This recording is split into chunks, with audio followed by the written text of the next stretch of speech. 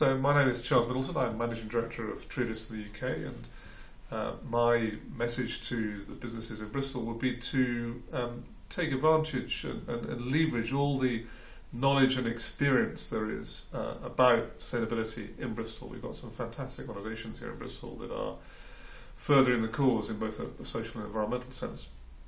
And I would urge companies to take advantage of that and, and learn about what they do and see how that could be applied within their businesses. Uh, we have some fantastic businesses in Bristol as well, and I think we really could lead the way uh, in terms of business that is done in a more sustainable and environmental way.